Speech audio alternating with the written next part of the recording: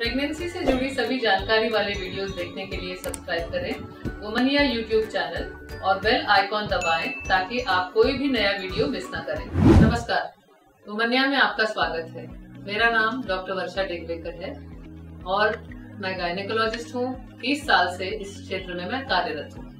चलिए, आज बात करते हैं गर्भावस्था में होने वाली उल्टी, जो कि ज़्यादातर पहली तिमाही या फ़र्स्ट ट्राइमेस्टर के साथ ये सिम्टम जुड़ा हुआ है।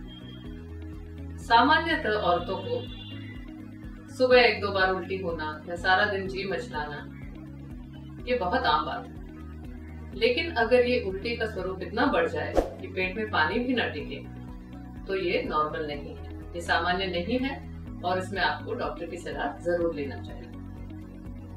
क्या होता है जब पेट में पानी भी नहीं टिकता या लगातार उल्टी होती रहती है? ऐसे में हमें एक कंडीशन है जिसका नाम है हाइपर एमेसिस ग्रेविडेरम हाइपर का मतलब है ज़्यादा एमेसिस का मतलब है उल्टी, और ग्रेविडा का मतलब है माँ।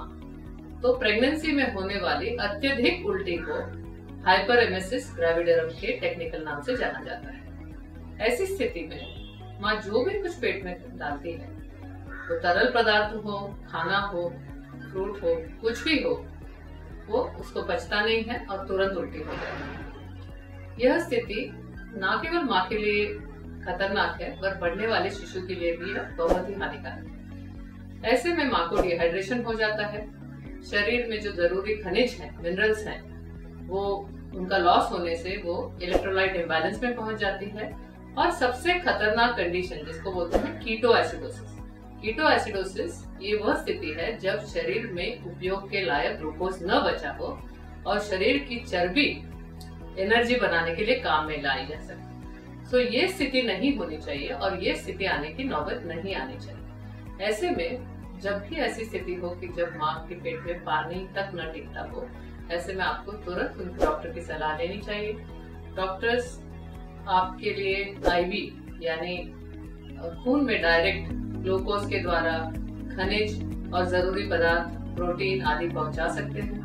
उल्टी न होने की दवाएँ दे सकते हैं। उल्टी कुछ हद तक कम करने की या एसिडिटी रोकने की दवाएँ दे सकते हैं। इससे उस समय के लिए, यानी टेम्पररी ही सही, आपको रिहाइड्रेशन हो जाएगा।